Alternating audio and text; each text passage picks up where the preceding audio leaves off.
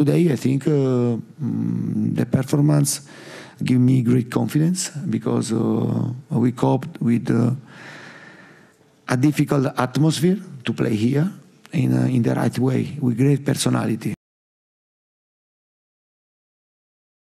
We need to be more clinical because uh, also today we create the chances to, to score. And you know very well in football football is simple. To win you have to score. Otherwise uh, if you are lucky if you are good uh, you uh, you get you get a draw. And I think today for the effort for the big effort that we did with the whole team um, yeah well, maybe we deserved uh, uh, much much more.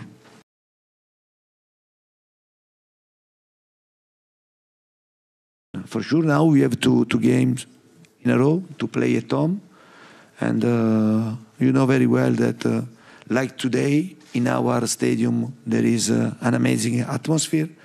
I think our fans uh, has to play uh, a big role, a big role in these two games, and uh, guess Eintracht Frankfurt and uh, Sporting Lisbon, because for sure we are going to play the qualification for, for the next round in the next two games.